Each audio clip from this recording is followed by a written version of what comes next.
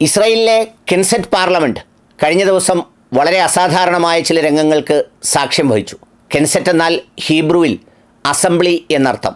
പാർലമെന്റിലേക്ക് ബന്ദികളാക്കിയിരിക്കുന്ന തടവുകാരാക്കിയിരിക്കുന്ന ആ ഇസ്രയേലികളുടെ ബന്ധുക്കൾ ഇരച്ചു കയറി ചില കാര്യങ്ങൾ പറഞ്ഞു.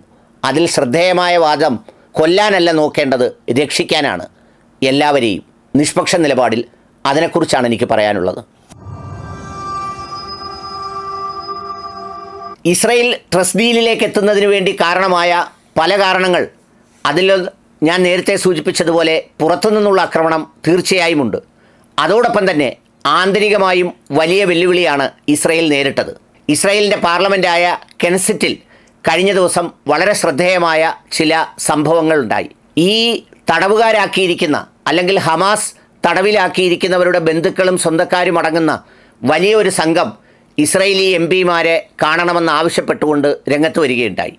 ഈ ഇസ്രയേൽ എം പിമാരിൽ വംശവെറിയന്മാരുണ്ട് എന്നാൽ സമാധാനകാംക്ഷികളുമുണ്ട്. ഈ സമാധാനകാംക്ഷികളായ എം പിമാരുടെ മുൻകൈയിലാണ് അല്ലെങ്കിൽ അവരുടെ നേതൃത്വത്തിലാണ് പാർലമെന്റിലെത്തി എം പിമാരോട് സംസാരിക്കണമെന്ന് ഇവർ ആവശ്യപ്പെട്ടത്. ഇങ്ങനെ ചെയ്തതിന് പിന്നിൽ മറ്റൊരു പശ്ചാത്തലം കൂടി ഉണ്ടായിരുന്നു. അത് മറ്റൊന്നുമല്ല ഇസ്രയേലിൽ ഈ ഭീകരവാദികളായ ആളുകളെ വധശിക്ഷയ്ക്ക് വിധേയമാക്കുന്ന ഒരു നിയമം വളരെ പെട്ടെന്ന് പാർലമെന്റിൽ ചുട്ടെടുക്കാൻ വാർ ക്രിമിനൽ നെതന്യാഹു ഒരു ശ്രമം നടത്തി. ഈ യുദ്ധ സന്ദർഭമാവുമ്പോൾ അത് വളരെ വേഗമാണെന്നും എളുപ്പമാണെന്നും വേണമെങ്കിൽ തന്റെ അഴിമതിക്കെതിരെ പ്രവർത്തിക്കുന്നവരെ പോലും ഇതിൽ കൊടുക്കാമെന്നുമൊക്കെ ആ വംശഹത്യാ വീരൻ ആഗ്രഹിച്ചിട്ടുണ്ടാവും.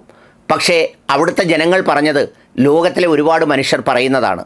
കൊല്ലുന്നതിനെക്കുറിച്ചല്ല ഇപ്പോഴും നിങ്ങൾ സംസാരിക്കേണ്ടത്. രക്ഷിക്കുന്നതിനെക്കുറിച്ചാണ്. നിങ്ങൾക്കിഷ്ടം കൊല്ലുന്നതിലാണ്.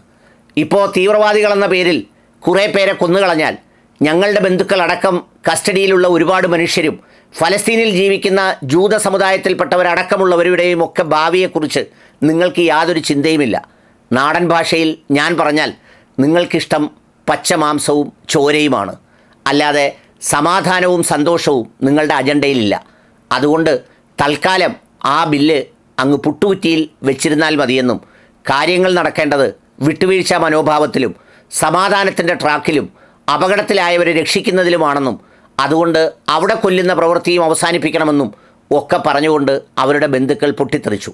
ഇതിൽ ചിലരുടെ ഭാര്യയും എല്ലാ മക്കളും അടക്കം ബന്ദികളായുണ്ട് അത്തരം ആളുകളുടെ മാനസികാവസ്ഥ ഊഹിക്കാവുന്നതേ ഉള്ളൂ. അത് ഊഹിക്കുമ്പോഴാണ് എല്ലാം നഷ്ടപ്പെട്ട ഫലസ്തീനിലെ മനുഷ്യരുടെ വേദന കൂടി അവിടെ ചേർത്ത് വെക്കേണ്ടത്. അവശേഷിക്കുന്ന ഒരു കുഞ്ഞു മാത്രമുള്ള അനേകായിരം കുടുംബങ്ങൾ. ഒന്നും രണ്ടും അംഗങ്ങൾ നഷ്ടപ്പെട്ട ഏതാണ്ട് നാലായിരത്തോളം കുടുംബങ്ങളുണ്ട് എന്നാണ് കണക്കാക്കപ്പെടുന്നത്. എന്ന് വെച്ചാൽ അത്രമേൽ മനുഷ്യഹത്യ നടത്തിയെടുത്ത് സ്വന്തം കുടുംബത്തെയും കുഞ്ഞുങ്ങളെയും ഓർത്ത് വേവലാതിപ്പെടുന്നതിന്റെ രോഷം കഴിഞ്ഞ ദിവസം കെൻസെറ്റ് പാർലമെന്റ് സാക്ഷ്യം വഹിച്ചു. എന്നാൽ മറുവശത്താകട്ടെ ഇതെല്ലാം നഷ്ടപ്പെട്ടിട്ടും അവർ പോരാടുന്ന പോരാളികളെ എതിർക്കാൻ തയ്യാറാവുന്നില്ല. അവർക്കെതിരെ യുദ്ധവും പ്രഖ്യാപിക്കാൻ തയ്യാറാവുന്നില്ല. സാധാരണ ഈ ജനോസൈഡ് ബൈഡന്റെയും വാർ ക്രിമിനൽ നെതന്യാഹുവിന്റെയും ഒക്കെ മുൻഗാമികൾ ചെയ്തിരുന്നത് ഏതെങ്കിലുമൊക്കെ രാജ്യത്ത് ജനങ്ങളെ ഇതുപോലെ കൊന്നൊടുക്കുമ്പോൾ അവിടെ ഇതിന് കാരണമായ സംഘത്തിനെതിരെ ഒരു ജനരോക്ഷം ഉണ്ടാകാറുണ്ട്. അതുപോലെ ഹമാസിനെതിരെയും ഉണ്ടാകുമെന്നാണ് കരുതിയത്. ആകെ ഉണ്ടായത് കേരളത്തിലെ രണ്ട് കണ്ഠന തണ്ഠന മാണ്ഡന വിദഗ്ധരിൽ മാത്രമാണ്. അല്ലാതെ അവിടുത്തെ ഒരു ഫലസ്തീനികളും അവർക്കെതിരെ തിരിയുകയോ അവർക്കെതിരെ എന്തെങ്കിലും പ്രക്ഷോഭത്തിന് പോവുകയോ ഒന്നും ചെയ്തില്ല. നഷ്ടങ്ങൾ തങ്ങളുടെ തലയിലെഴുത്താണെന്നും വിധിയാണെന്നും നഷ്ടപ്പെടുന്നവർ സ്വർഗത്തിലേക്കാണ് പോകുന്നതെന്നുമുള്ള വിശ്വാസത്തിൽ അവർ കാത്തിരുന്നു. മറിച്ച് അങ്ങനെ വിശ്വസിക്കാൻ ഇപ്പുറത്തുള്ളവർക്ക് തരമില്ലല്ലോ. കാരണം ഇവർക്ക് ജീവിക്കേണ്ടത് ഭൂമിയിൽ സുഖസമൃദ്ധമായി സന്തോഷമായിട്ടാണ്. മരണാനന്തരം എന്നൊക്കെ പറയുന്നത് അവർക്ക് വിശ്വസിക്കാൻ അല്പം പ്രയാസവുമാണ്. അതുകൂടിയാണ് ഇസ്രയേലിനെ കുഴച്ചത് എന്നതൊരു സത്യമാണ്.